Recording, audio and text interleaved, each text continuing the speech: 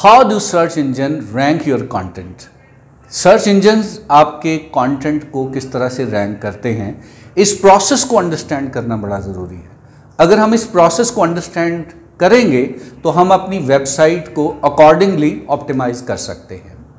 अगर हम search engine की बात करें कि सर्च इंजन कैसे आपके कंटेंट को डिस्कवर करता है, कैसे उसको रैंक करता है तो इस प्रोसेस को अंडरस्टैंड करेंगे हम। How does Google find analyse and rank your content सबसे जो पहली स्टेज गूगल की है, वो है डिस्कवरी स्टेज डिस्कवरी स्टेज में क्या होता है? गूगल का जो बॉट है, जो क्रॉलर है, वो आपकी वेबसाइट पे आता है. और अगर आपकी वेबसाइट क्रॉलेबल होगी तो वो उसको क्रॉल करेगा. क्रॉल करने के बाद आपका जो कंटेंट है उसको वो असेस करता है। उसकी अथॉरिटी देखता है कि आपका जो कंटेंट है, वो कितना अच्छा कंटेंट है, वो यूनिक कंटेंट है, या आपने कहीं से कॉपी किया है। कंटेंट के बाद आपकी वो वेबसाइट की अथॉरिटी देखेगा। अथॉरिटी में क्या करेगा? बिल्ड अथॉरिटी वो रैंकिंग आपकी देखता है by getting lots of high quality links to your website वो देखता है कि आपकी जो वेबसाइट है उसके लिंक्स कहाँ कहाँ पे हैं, वो कौन सी वेबसाइट क्योंकि जब भी हम अथॉरिटी की बात करेंगे तो बैक लिंक्स की बात आएगी। तो हमारी वेबसाइट किन वेबसाइट्स के साथ लिंक्ड है, उसको वो असेस करता है और उसकी वो रैंकिंग उन लिंक्स की बेस पर करता है। अब हम देखेंगे कि जो डिस्कवरी स्टेज है, वो किस तरह से काम करती है। Search engine bots discover your content by crawling it वो इस पे आता है क्रॉल करता है। उसके बाद जो अगली स्टेज होती है, दूसरी स्टेज है वो रेलिवेंस यानी अगर हम ओवरऑल डिस्कस करें तो थ्री स्टेजेस हैं. पहली में डिस्कवरी है, दूसरी में रेलिवेंट स्टेज है और तीसरी में रैंकिंग स्टेज है. रेलिवेंट स्टेज में क्या होता है? Search engine bot decide how relevant your content is by indexing it based on signals like keywords अब जब किसी ने सर्च करना है तो उसने कीवर्ड से सर्च करना है. क्या आपके कंटेंट के अंदर ऐसे कीवर्ड्स मौजूद हैं जिनका सर्च वॉल्यूम ज़्यादा है। और अगर उनका सर्च वॉल्यूम ज़्यादा है, ऐसे गोल्डन कीवर्ड्स आपने कंटेंट के अंदर रखे हैं तो वो उसको रेलिवेंसी उसकी कंसिडर करेगा कि ये ज़्यादा रेलिवेंट कंटेंट है तो रेलिवेंसी के हिसाब से आपकी रेटिंग ज़्यादा बढ़ जाती है। तो रेलिवेंस काउंट करने के बाद डेफिनेटली जो तीसरी स्टेज है, वो अथॉरिटेटिवनेस उसने चेक करनी है, आपकी वेबसाइट की अथॉरिटी चेक करनी है, और अथॉरिटी के बारे में हम डिस्कस कर चुके हैं कि आपकी वेबसाइट के बैकलिंक्स देखे जाएँगे कि आपकी वेबसाइट कितनी अच्छी वेबसाइट के साथ लिंक्ड है। नंबर ऑफ़ बैकलिंक्स भी काउंट करते हैं but the most important thing जो मैटर करती है that is the quality of backlink क्योंकि जिन वेबसाइट के साथ आपकी वेबसाइट कनेक्टेड होती है, वहाँ से आपकी ट्रैफ़िक तो आनी है। दिस इज़ वन एडवांटेज लेकिन वहाँ से टेक्निकल लैंग्वेज में हम उसको कहते हैं कि लिंक जूस भी आता है। अगर वो वेबसाइट जिसके साथ आपका लिंक बना है, उसकी अथॉरिटी बेहतर है तो उसका एडवांटेज आपकी वेबसाइट को भी मिलेगा। लिंक जूस आपकी वेबसाइट को भी मिलेगा। तो आपकी वेबसाइट की अथॉरिटी डिसाइड होती है आपके लिंक जूस पे। Search engine bot rank your content in search result based on the sites SEO authority तो ऐसी अथॉरिटी के लिए हमने बैकलिंक्स जो है वो करने हैं।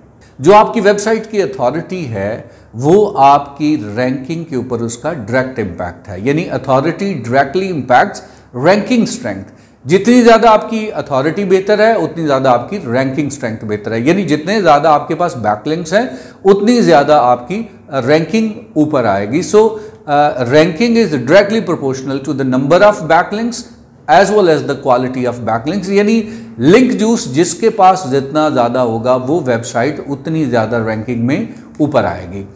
आइए इस एग्ज़ाम्पल को हम इस तरह से समझते हैं कि जिस तरह एक लाइब्रेरी में आप जाते हैं तो लाइब्रेरी में अगर आपने कोई पर्टिकुलर बुक फाइंड करनी है तो वो बुक कैसे फाइंड करना, कैसे आपको आसान होगा, वो तभी आसान होगा जब वो बुक्स प्रॉपर शेल्फ में लगी होंगी।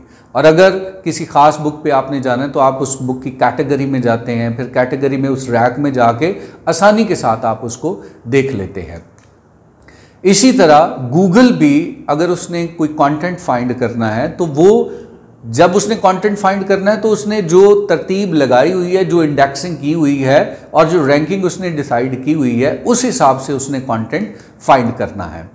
तो इसमें थ्री स्टेप्स के बारे में हमने देखा कि there are three steps Google uses to find analyse and rank your content जिसमें फ़र्स्ट में हमने डिस्कस uh, किया कि डिस्कवरी स्टेज है जिसमें आपका कंटेंट डिस्कवर होता है और इसमें आमतौर पर प्रॉब्लम ये होता है कि कुछ ऐसी वेबसाइट्स होती हैं कि जिन पे बॉट जो है वो जा नहीं सकता। डिस्कवरी उनकी पॉसिबल नहीं होती उस पर कुछ टेक्निकल इश्यूज़ होते हैं उनको हम लेटर ऑन बात करेंगे।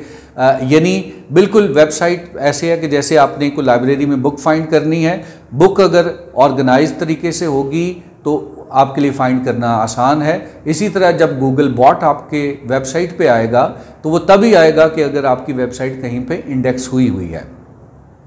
फिर हम उसमें देखते हैं कि उसने क्या करना है गूगल बॉट ने क्या करना है, उसको रेलिवेंसी चेक करके इंडेक्स उसको कर देना है। और तीसरी स्टेज में उसकी रैंकिंग डिसाइड होती है और रैंकिंग डिसाइड होने में बैकलिंक्स की एवेल्यूएशन की जाती है कि आपके जो वेबसाइट है, वो कितनी वेबसाइट के साथ लिंक है और उनसे वहाँ से कितना उसको जो है, वो लिंक जूस मिल रहा है और उस हवाले से जो है, वो आपकी रैंकिंग जो है, वो डिसाइड होती है। बिल्कुल ऐसे कि जैसे एक बुक है, जो बेस्ट सेलर बुक है, वो कैसे डिसाइड होती है? बेस्ट सेलर बुक कंटेंट जो है, वो हो सकता है मुख्तलिफ़ राइटर ने सेम तरह का लिखा हो, लेकिन जो बेस्ट सेलर होता है, वो उस बुक को किया जाता है जिसकी, जिसके राइटर की भी अथॉरिटी फॉर एग्जांपल एक बुक जो है, वो ब्राइन ट्रेसी ने लिखी है और एक बुक इफ्तार अंजुम ने लिखी है। सेम कंटेंट है सेम टॉपिक पे है। तो बेस्ट सेलर कौन सी बनेगी? ब्राइन ट्रेसी की बुक क्योंकि उसकी एक अपनी अथॉरिटी है, उसका एक अपना एक्सपीरियंस है, दुनिया उसके बारे में जानती है। तो ये अथॉरिटी जो है, वो बहुत ज़्यादा मैटर करती है कि आपकी वेबसाइट की अथॉरिटी बेहतर है। अब जो आप उसके ऊपर कंटेंट लिखेंगे वो रेलिवेंट कंटेंट होगा तो वो डेफिनेटली आपकी वेबसाइट रैंक करेगी। और अगर एक नई वेबसाइट ने उसी तरह का रेलिवेंट कंटेंट लिखा है तो वो रैंक में ऊपर नहीं आ सकता। क्योंकि सिर्फ़ रेलिवेंसी इंपॉर्टेंट नहीं है, बल्कि अथॉरिटी जो है, वो ज़्यादा इंपॉर्टेंट है। तो वेबसाइट जब अथॉरिटेटिव हो जाती है तो जब भी आप कंटेंट लिखते हैं तो हर नया कंटेंट रैंक होने के चांसेस ज़्यादा होते हैं। How do you determine authority authority का कैसे पता चलता है? Number one the content is talked about a lot ऐसा कॉन्टेंट होना चाहिए जिसके बारे में लोग सर्च कर रहे हैं। The content is refer to a lot जिसमें लोग रेफर कर रहे हो लिंक आपका जो है वो कंटेंट को कर रहे हैं। The content is cited in other words जैसे मुख्तलिफ़ जगह पे उसका ज़िक्र हो साइटेड हो तो वो कंटेंट की अथॉरिटी होती है। Discovery relevance and authority are dependent on one another ये इंडिपेंडेंट नहीं है, ये डिपेंडेंट है। डिस्कवरी रेलिवेंस और अथॉरिटी अगर रेलिवेंस है और तो अथॉरिटी नहीं है तो फिर भी आपका कंटेंट रैंक नहीं कर सकता। लेकिन अगर अथॉरिटी है रेलिवेंस नहीं है तो फिर भी कंटेंट रैंक नहीं करेगा। तो ये सारी चीज़ें इंटर रिलेटेड हैं। If your content is irrelevant then it has little chance of ranking no matter how authoritative it is And if your website isn't authoritative, then it has little chance of ranking no matter how relevant it is. तो ये दोनों चीज़ें बड़ी important हैं कि authority भी important है और रेलिवेंस भी बहुत इंपॉर्टेंट है। तो आज के लेक्चर में हमने डिस्कस किया कि आपकी जो वेबसाइट है वो किस तरह से रैंक होती है गूगल में या किसी भी सर्च इंजन में किस तरह से रैंक होती है।